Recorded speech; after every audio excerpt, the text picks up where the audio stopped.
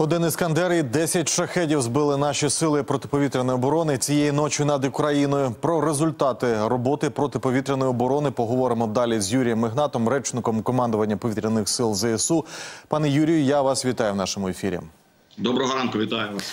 Пане Юрію, ну власне, як я вже сказав, е, один іскандер і 10 шахедів збили наші сили протиповітряної оборони. Розкажіть, як пройшла ця ніч? 9 шахедів, поправлю вас. Так, 10 запущено, 9 було збито, і один іскандер, але треба уточнювати, який саме іскандер К це крилата ракета, не балістична.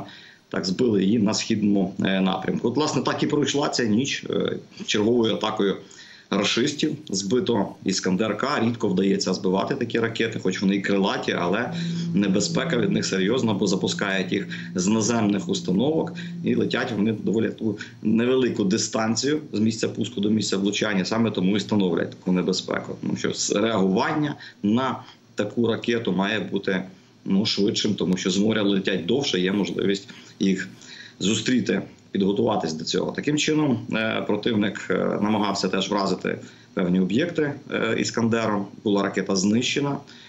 Повітряне командування схід відпрацювало, і далі вже шахеди звичні для нас летіли в кількості 10 10 одиниць з напрямку південно-східного приморського ахтарськ краснодарського краю. Було майже всі знищені. Е, залучалася і авіація, і мобільні вогневі групи, як завжди, і зенітні ракетні е, підрозділи. 9 із 10 було саме знищено. Ну, ракети С-300, ви самі розумієте, що Донецький напрямок противник часто використовує їх на е, різних прифронтових територіях, ну з окупованих. Території запускають ракети по балістичній траєкторії. Цього разу і лікарні там ураження, і інші інфраструктурні об'єкти в Донецькій області. Пане Юрію, перед е, нашою з вами розмовою ми всі побачили сюжет Світлани Шекери про створення от таких нових мобільних груп для збільшення для того, щоб ефективніше м, працювати по от, власне цим шахедам. А наскільки зараз ми ефективно е, збиваємо ці дрони камікадзе? Наскільки ця робота вдала? Ну, ви бачите результат сьогодні. 9 з 10 ну 9 з 10 ну не завжди вдається досягати таких таких результатів. Тому що якщо там окремі деякі ну, діячі заявляють, що десь там може неефективно використовуються ті засоби, які в нас є, ну то от е, черговий результат маємо, як то кажуть, русські на ліцо, так тому що е, засобів ну. Вкрай недостатньо, скажімо так, для того, щоб захистити нашу державу. Саме тому йдуть на такі кроки військове керівництво, військово-політичне керівництво держави, щоб забезпечувати максимально е, підрозділи тими ж пікапами, які ви показували, кулеметами, і е, е, додатковим обладнанням, щоб збільшити ефективність саме мобільних вогневих груп, радіус їхніх. Е, невеликий е, застосування, це кілька кілометрів, усього один-два для того, щоб прицільно е, влучити по тому ж таки шахеду. Звичайно, комплекси, які ви зараз показуєте західного виробництва, вони дійсно ефективні і не дають шансів противнику. Але цих засобів у нас ну м'яко кажучи, недостатньо на сьогоднішній день. Зрозуміло, що є гарні позитивні сигнали заходу, що ми будемо отримати додаткові системи. Ті системи, які ми говорили з вами, які комплекси адаптували. До американських ракет Буку М1 до Сісперу це буде надходити, але з шахедами треба буде боротись. Е, от, власне, усім, чим маємо, так тому збільшення кількості мобільних вогневих груп, е, воно ну так би мовити вимога часу і так би мовити, не та необхідність, яка дозволяє нам краще зберігати наші об'єкти і зберігати головне дефіцитні зенітні керовані ракети, які нам потрібні, вкрай потрібні. Життєво я б сказав, потрібні для стримування російської авіації на підступах до підконтрольної країни території. Пане Юрію, ну безумовно, от вздовж цієї лінії нашого кордону з Росією ми не зможемо поставити оці мобільні вогневі групи. А скільки от мінімально треба для того, щоб от ефективніше працювати? Ну, дивіться, я от вже дещо відповів вам на питання. Е, скільки прицільна дальність кулемету? Ну, ви сказали, що 2 кілометри. Так, ну от і територія України 603, ну вся Україна, яку ми, ми ж її не, не ділимо на окуповані території.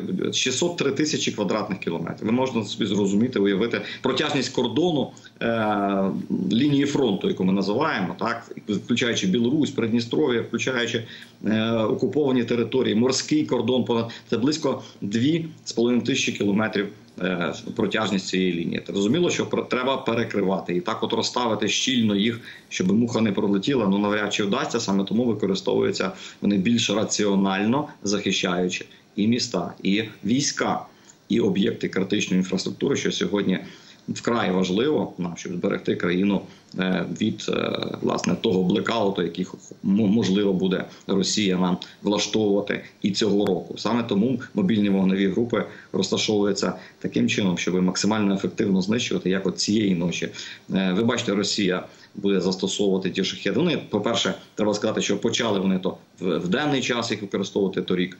Потім змінювали час доби зараз виключно вночі, щоб ми ну, щоб візуально ми втрачали їх у небі. От зараз вже з'явилися новини, що Іран е, новий шахет. Випускає з реактивним двигуном, з різним наведенням там радіолокаційним, різні варіанти. І цей шахет дуже реактивним, і цей шахет уже пофарбований в чорний матовий колір, що ще може ускладнити роботу.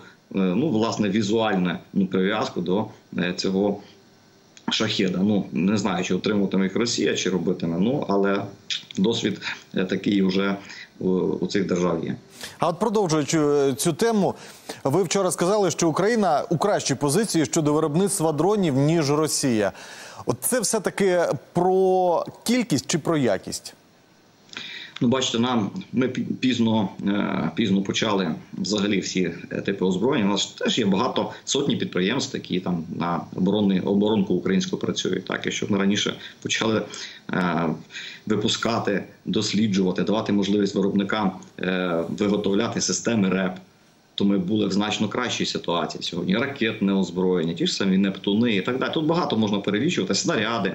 Тільки на якому місяці війни у нас з'явились 152 снаряди. Тому е, і дрони відповідно е, зараз уже Україна виготовляє. Вже є зразки, які долітають до Москва Сіті і так далі. Ну хочеться їх мати більше і хочеться ефективніше, щоб вони застосовувались і масовіше. Основне, що дійсно треба, е, щоб вони були стійкими для РЕП, щоб вони могли летіти не сотні, а тисячі кілометрів, щоб е, ну, відповідно Росії завдавати ударів таких же болючих, як вона е, намагається завдавати нам. Тому в- чому в кращій позиції ну ми можемо е, використовувати технології наших західних партнерів. Я думаю, ми не маємо жодних санкцій. А навпаки, ми маємо і підтримку фінансову, і думаю, в технологіях.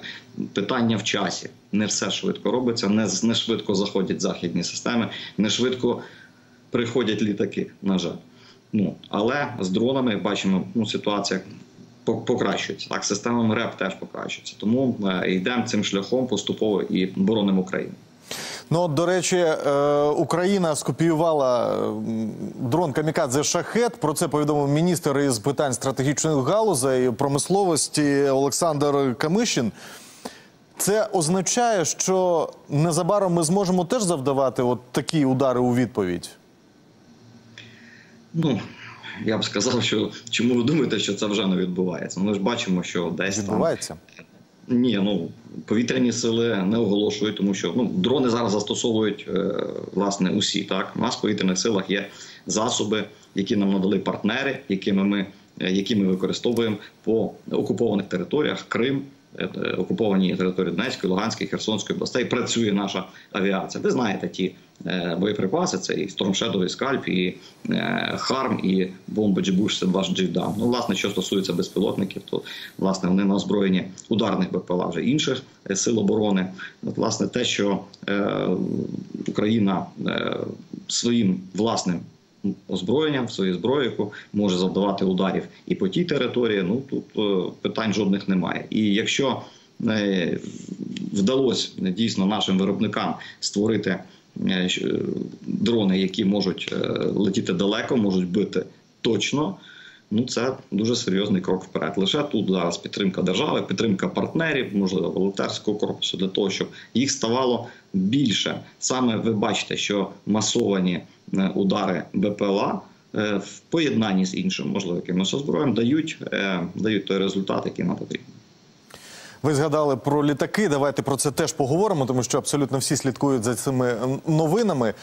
У Міноборони кажуть, що от створили спеціальну структуру для інтеграції F-16. Розкажіть, будь ласка, детальніше про це, те, що можете розказати. Ну я власне не знаю е, деталей щодо структури. Я бачив теж повідомлення від заступника міністра оборони, що є власне відбулася е, там якийсь захід, нарада, е, де представили власне цю, цю план дій. Я, я називаю це. Чіткий план дій дуже люблять на заході, коли ми маємо план дій, так звану дорожню карту, як ми будемо адаптувати, інтегрувати, використовувати, застосовувати то озброєння, яке вони нам е, надають.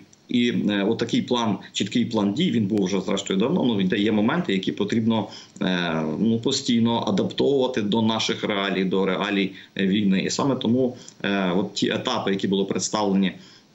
Власне, в цій інституції, яку створено, потрібно все прорахувати чітко, як це буде відбуватися, як ми будемо зберігати техніку, як ми будемо захищати наші литовища, зберігати е, боєприпаси, е, обслуговувати техніку. Ну відповідно паралельно проводити навчання е, особового складу. Зрозуміло, що ті фахівці, яких ми там одноразово підготуємо за кордоном, ну це ж не кінець процесу. Навчання це невпинний процес. Він має відбуватися завжди як на території наших партнерів, так і в нас в Україні, тому що ті люди, які вже навчились там, вони можуть зрештою і самі вже стати наставниками для молодших е, колег. Питання F-16 – це довгострокова перспектива. Це перехід нашого е, нашого війська, наших повітряних сил авіації е, на новий зразок техніки із повним виведенням із складу повітряних сил радянського застарілого озброєння і техніки. Тому, е, як то кажуть, вдовго ми, крім F-16, будемо звичайно розглядати і інші літаки, можливо, е, перспективні розробки. Ми вже не раз про це про це говорили. Що хотіли б, мабуть, і F-35 теж в якомусь майбутньому недалекому отримати. Ну стаючи вже власне повноправним членом е, Північно-Атлантичного альянсу. Пане Юрію, ще багато питань, які хотілося б з вами обговорити, але на жаль, ми дуже обмежені в часі. Я вам дуже вдячний за цю розмову, за те, що ви знайшли можливість доєднатися до нашого ефіру. Гарного вам дня. Дякую. Я нагадаю, це був Юрій Ігнат, полковник, речник командування повітряних сил ЗСУ.